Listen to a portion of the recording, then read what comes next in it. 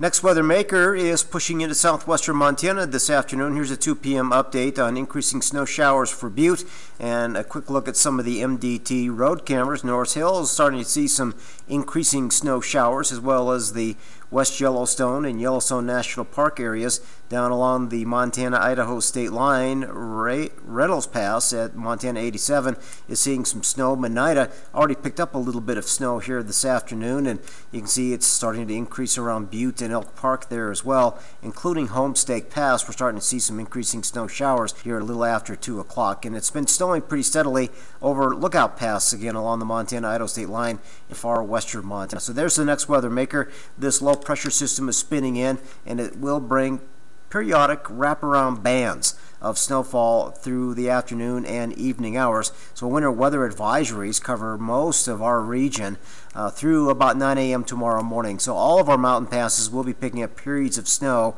and with the colder temperatures trying to move in, uh, the snow will be sticking and snow covered in icy roads guaranteed overnight and into early tomorrow morning. So a winter weather advisory means there's going to be some wintry travel concerns, especially for our mountain passes this evening and into tomorrow morning. Updated TrueView snowfall forecast numbers still coming in with about 2 to 4, 3 to 6 inches around West Yellowstone, maybe up to a foot around uh, Big Sky and around Cooke City. But lower valleys could be picking up a couple of inches, especially on grassy areas. So keep an eye out for changing weather conditions this afternoon and evening. It's going to be often on snow showers for Butte with temperatures dropping well below freezing after sunset. Now, it might be a rain or rain snow mix for Bozeman, but eventually will change over to snow after 9 o'clock tonight.